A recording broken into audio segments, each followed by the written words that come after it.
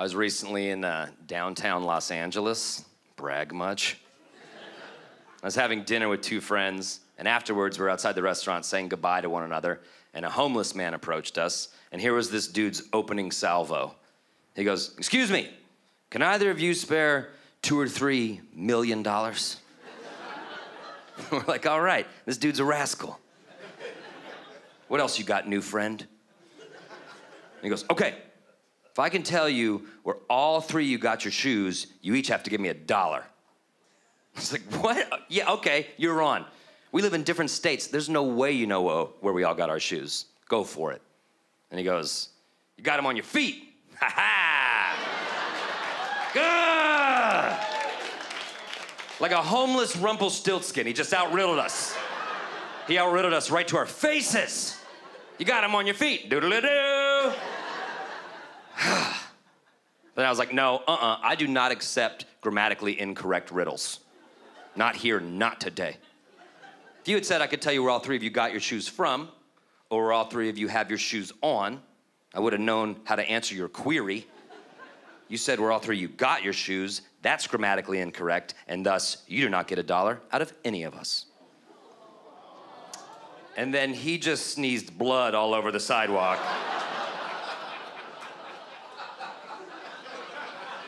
Uh, we just gave him all the cash we had. We're like, I'm so, I'm so sorry about society. Oh my God.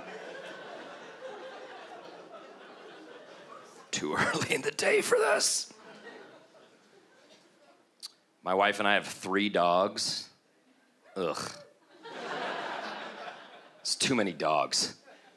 It's not my fault. I was a single guy. I had one dog. That's perfectly normal. She was a single woman. She had two dogs, little guys. Totally normal. We got married. We united the clans. And now we have three dogs. And that's not normal. That's too many dogs. What were we supposed to do? Put them all in a room and be like, we'll be back in an hour and there better only be two. Like, no. We're not monsters. So we kept all three dogs.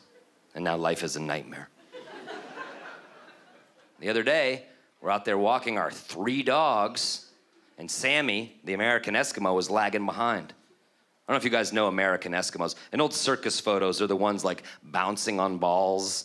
They're a desperate, pathetic, needy little breed.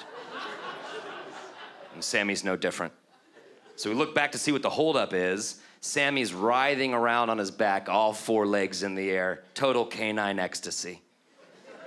Some of you chuckle at the description. Any dog owner in the room knows exactly what's going on in that situation.